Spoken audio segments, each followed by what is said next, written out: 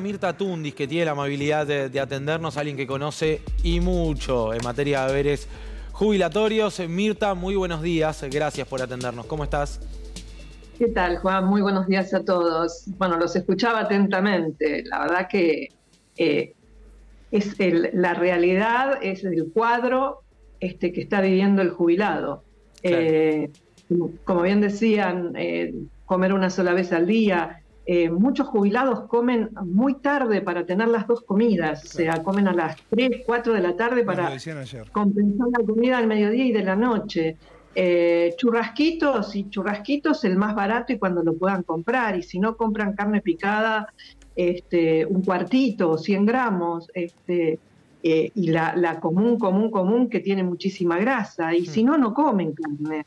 Esta es la realidad, hablamos de los chicos que, que tienen mucha hambre este, que se van a dormir sin comer y los jubilados no es diferente, el deterioro que les genera obviamente en su salud este, y, muchos de ellos, como la vez pasada decía un jubilado, no van al médico para tampoco le, eh, le prescriban medicamentos pues no los pueden comprar. Hmm. Esta es la realidad que está viviendo el adulto mayor, más allá de los aumentos por inflación.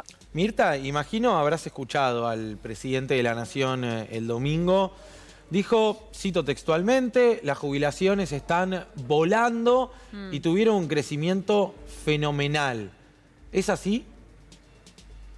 Y volaron para estrellarse, porque en realidad, este, claro, y siguieron de largo, porque la verdad que eh, el, jubilado y el trabajador no es solamente el jubilado, cobran valor pesos, pero la economía está valor dólar, o sea, eh, la alimentación, este, el, transporte, eh, todo lo que ustedes explicaban que se necesita y que Eugenio Semino eh, dos veces al año saca el cálculo de la canasta básica total, porque es como decían, no es solamente eh, los 317 mil pesos que dice el proyecto de la canasta básica alimentaria, porque la verdad es que el proyecto él dice es el 62% del PBU, significa gastar 374 mil millones de dólares, pero es en, no sé, hmm de acá 20 años, no sé. A este, perpetuidad, dijo el presidente, que era la cuenta. Claro, a perpetuidad, pero si nos vamos a la oficina de, estadística, presupuesto del Congreso, dice que significa el 0,45%,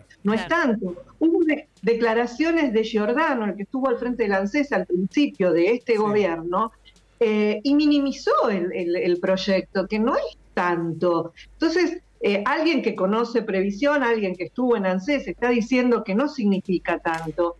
Lo que me parece que este, el, desde el gobierno lo que se está planteando es eh, generar ante la opinión pública que es un gasto impagable y que no van a afectar el superávit. La verdad que no es un gasto impagable, porque el jubilado, tal cual está el proyecto de devolverle lo que no le pagaron en el mes de abril, que tendría que haber sido un 20,6% y pagaron un 12,5%, por eso se habla del 8,1%. Este, que en la práctica real técnicamente significa un 7,2% para todas las jubilaciones. Asegurarle una canasta básica alimentaria 1.09, una canasta básica alimentaria que serían los 317 mil pesos para el haber mínimo, nada más. Mm. Este, darle el aumento de inflación Claro, después dice, bueno, comparar una vez al año, al año siguiente de haber recibido los aumentos, cuánto recibió el activo y cuánto recibió el pasivo, que el activo no está recibiendo grandes aumentos, pero supongamos, de la diferencia darle el 50%, es decir, el activo recibe un 80%, el jubilado recibe un 70%, hay un 10% de diferencia, bueno, le damos un adicional del 5%.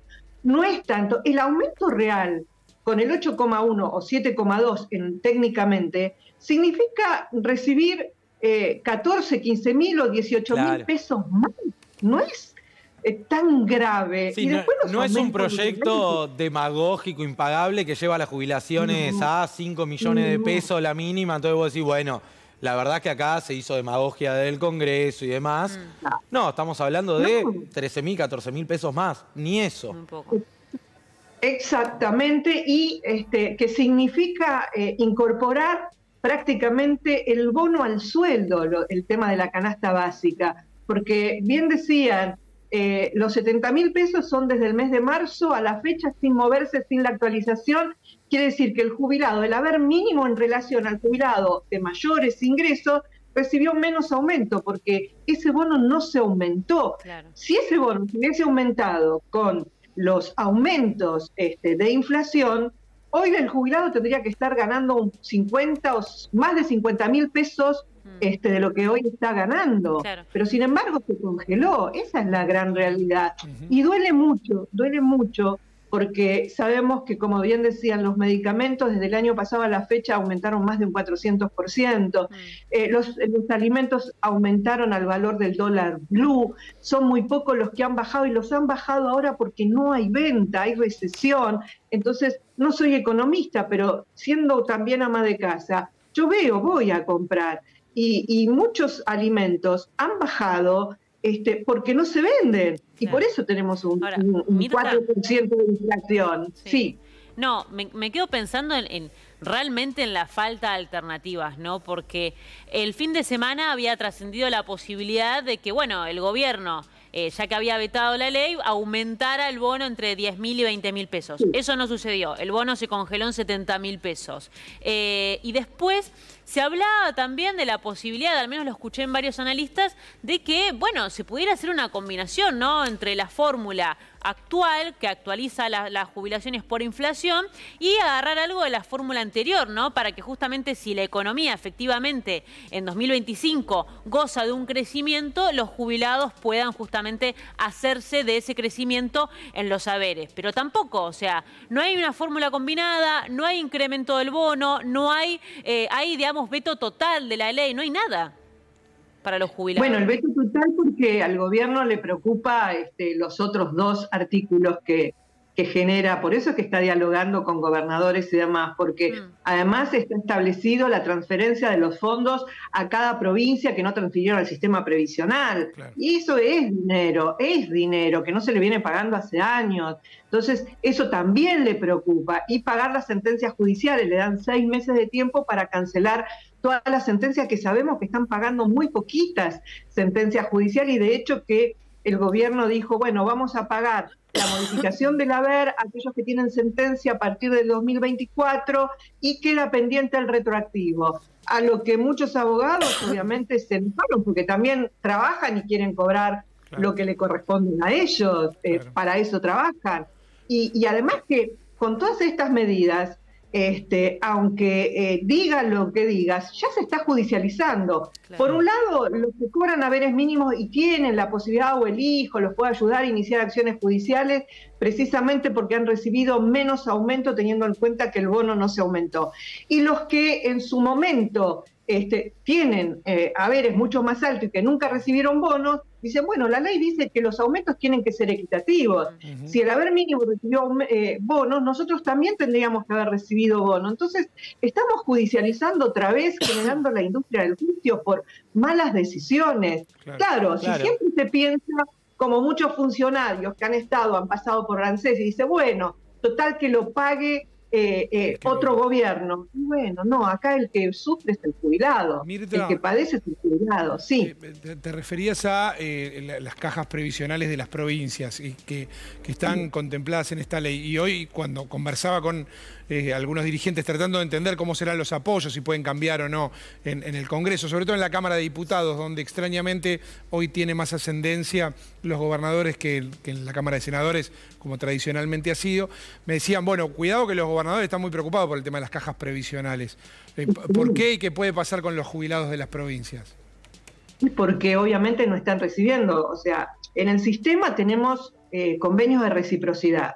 Vale decir que una persona que trabajó en Nación y que trabajó en provincia, se hace un mix para pagar. Esos fondos, este, tanto si uno, la caja otorgante es Nación, como la caja otorgante es provincia, tienen que girarse los fondos. A las cajas provinciales no le están girando los fondos que corresponden a, cada caja que no transfirió al sistema. Y esto obviamente las hace desequilibrar, hace que obviamente entren en crisis. Hay muchas cajas provinciales que están teniendo crisis a la hora de tener que pagar a sus jubilados. Y esto genera un deterioro importantísimo y cada gobernador que no transfirió obviamente que necesita ese dinero para poder hacer frente a los pagos de las jubilaciones. Eh, lo cierto es que este, es una forma de muchos gobiernos de presionar a esas cajas a que transfieran al sistema nacional. Pero transferir al sistema nacional significa perder un derecho. Las cajas provinciales tienen un sistema, cada uno en forma diferente, de asegurarles de acuerdo al sueldo en actividad, cosa que en Nación no. Este, Nación se paga por el promedio de los 10 últimos años. En la caja de la provincia de Buenos Aires, la caja de la provincia de Córdoba, con diferentes ¿no? este, metodología de Entre Ríos, de Santa Cruz, de este, Chubut, de Tierra del Fuego, se paga de acuerdo al sueldo en actividad, porcentaje, con, determinaciones diferentes, estar, qué sé yo, este, cinco años en el cargo, tres años en el cargo, o, promedios y demás, pero cobran de acuerdo al sueldo en actividad. Y ese es un beneficio que lo perderían si transfieren al sistema nacional. Y hay mucha resistencia, obviamente, por los sindicatos provinciales y por los empleados provinciales, obviamente, que no quieren perder ese derecho. Eh, y esto es lo que generan muchos gobiernos al presionar que transfieran eh, esas cajas. Hmm. Sabes, Mirta, que mientras hablas yo, miraba el celular, pues escriben televidentes, jubilados, jubiladas, agradeciendo eh, tu presencia. Yo también la agradezco siempre por, la claridad con la que te referís y por la atención que siempre has brindado y brindás para nuestros abuelos y abuelas. Eh, Mirta, no quiero dejar de, preguntarte por los medicamentos, que es otro de los temas ¿no? tan angustiante. Eh, con eh, medicamentos que ya no tienen la cobertura al 100. Bueno, la semana pasada escuchábamos el testimonio de una jubilada que agradecía directamente que el colectivero le, haya dejado pasar para poder ir al médico y que contaba que había dejado de comprar algunos remedios. Y es increíble, porque uno dice, che, pero no es que los dejó de comprar porque no los necesita, los deja de comprar porque no puede, porque no tiene plata y terminan eligiendo cuál es más prioritario. ¿Cómo estás viendo esa situación? Y está muy delicado. Mira, casualmente ayer estaba hablando con el vecino de al lado de casa y me decía, mi mamá toma nueve medicamentos. Dice, y vos dijiste que el PAMI da hasta cinco medicamentos. Sí, tiene jubilación y pensión, pero en teoría hay periodistas afines al, al gobierno que dicen, siguen insistiendo en que eh, los cinco medicamentos se aseguran cualquiera sea el monto. Resulta ser que a la mamá de Federico, mi vecino, le dan un solo medicamento de los nueve. Le dije, bueno, igualmente anda el PAMI y reclamá, porque en teoría la información que ahora da el PAMI, que fue muy confusa al principio, es hasta cinco medicamentos que lo estarían recibiendo todos. Hmm. Si la persona, el afiliado, toma más de cinco, o sea, toma ocho o nueve, cuatro medicamentos más le estarían dando, pero le aplican la disposición de no cobrar más de una vez y medio, no tener una prepaga, no tener un auto de eh, más de, eh, de 15 años. Un gobierno que te dice si tenés guita para blanquear o blanquea todo, no te preguntamos absolutamente nada, que vive haciendo alarde de la desregulación y demás va contra la casta de los jubilados que toma más de cinco remedios. y te dicen, no, eh, nos estás choreando, digamos, esa es la lógica que aplican. Claro, y además cambian la resolución, porque la resolución este, del año 2017 decía, si la, la medicación, el gasto supera el 5%, ahora le pusieron el 15%, entonces lo han cortado por todos lados. Y la pregunta es, esta mujer que toma este, eh, ocho o nueve medicamentos y le están dando uno solo, dice, me gasto más de 100 mil pesos en, la medicación porque se la compro yo a mi mamá.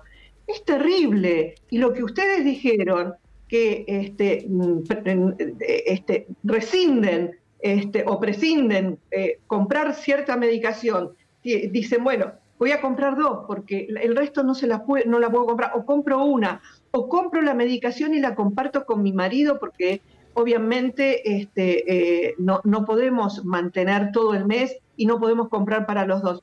Es terrible porque eso es lo que dije al principio, deteriora a la persona, o lo que es peor, aquel que directamente no va al médico porque no va a poder comprar los medicamentos y si prefiero no enterarme y cuando pase, pase. Es muy triste, es muy triste generar un superávit que yo felicito que, traten de tener un superávit porque el país necesita tener superávit. Pero no así. Pero a costa de quién. A costa de quién y a costa de quién. Esa es la gran verdad. porque algunos jubilados salen a trabajar. No todos pueden salir a trabajar. Y no es justo que salgan a trabajar. Totalmente. No, y además, eh, más todavía, con más razón este último argumento, a costa de quién, cuando vos prometiste que no iba a ser, jurabas que no iba a ser a costa de los jubilados, jurabas que esta vez era diferente y que no iba a ser a costa del bolsillo de los sectores más vulnerables. Bueno, los jubilados son indudablemente de los sectores más vulnerables y un tercio del ajuste por el cual llegás al equilibrio fiscal mm. lo pagan los jubilados. Mirta, yo te quería hacer una pregunta porque cuando, por ejemplo, eh, el gobierno escucha eh, declaraciones como la de Juan, esto de no, se están metiendo con el sector más vulnerable, el gobierno dice no. En realidad, el, sector de los jubilados no es el más vulnerable, al contrario. Eh, digamos, es uno de los que mejor económicamente posicionados están. ¿En qué se basan para plantear esto y qué pensás vos? Porque la verdad es que pensando en que hay más de 6 millones de jubilados que cobran la mínima, que recién ahora, el noveno mes del año, alcanzan los 300 mil pesos, cuesta creer, y más todos los aumentos y lo que decíamos recién de los recortes del PAMI, pareciera ser difícil pensar que es uno de los sectores mejor posicionados del país en términos económicos. Porque ellos se basan económicamente en números mm. y no en realidades. Los números dicen para ellos que, como vienen aplicando la inflación, vienen recibiendo buenos aumentos este, y que eh, obviamente le vienen ganando al dólar, no sé a qué dólar se refieren, por ahí eh, eh, se manejan con el dólar oficial, que no es el dólar de la calle, que no es el dólar de, los medicamentos, que no es el dólar de, la carne, ni el dólar de un paquete de fideos, o de arroz, o de azúcar, ¿no? O de yerba. Esa es la realidad. Una cosa es el dólar oficial y otra cosa es el dólar. Pero así sea el dólar oficial, no sé en qué realidad viven, no sé en qué país viven, porque decir que un jubilado ahora con el bono, este, el 73% del universo de jubilados va a cobrar 305 mil pesos cuando te vienen 100 mil pesos de luz, cuando te vienen 40 o 50 mil pesos de gas, que son los que más gastan. ¿Por qué? Porque se tienen que calefaccionar, si no se enferman. Y en verano se tienen, tienen que mantenerse fresco porque si no se enferman, se deshidratan. Y se están privando de todas esas cosas. Y aquellos lugares donde no llega el gas natural y donde tienen que comprar garrafas, donde desregularon las garrafas, la garrafa se utilizan para calefaccionarse y para cocinar le duran una semana. Hmm. y al valor que está. Entonces, la verdad que no sé de dónde sacan. Lo sacan de los números, pero no de la realidad que vive. Ah, nunca los jubilados estuvieron, como quien dice, tirando manteca al techo, pero tuvieron momentos, momentos de distracción donde se iban al centro de jubilados, pagaban la cuota, eh, hacían viajes pagando este, eh, eh, durante varios meses este, el pasaje y el hotel. Se les daba a través del gobierno, la Secretaría de Turismo, poder ir a Córdoba, Embalse o a, a Cataratas. Entonces se podían hacer esos viajecitos que le alegraban el alma, que es la mejor medicina, que no ah, se, se divierte. La sonrisa es la, mejor medicina del alma. Está dicho no porque lo diga yo, porque lo dicen los especialistas. Sí, hoy, hoy, se discute sobre vida, ¿no? Digo, es, sobrevivir. ¿Qué jubilado puede ir a comerse una porción de pizza? ¿Qué jubilado puede viajar? ¿Qué jubilado puede hacer una excursión? El jubilado está pensando cómo pagar la luz, cómo pagar los impuestos, cómo comer, eh, qué comprar para comer. Yo voy a comprar al supermercado de, chino de, cerca y veo cómo en las verdulerías compran un tomate, compran una manzanita o compran una mandarina, compran una papa. Es terrible. Del kilo pasamos al medio kilo y ahora pasan a la unidad. Y hay muchas cosas que dejan.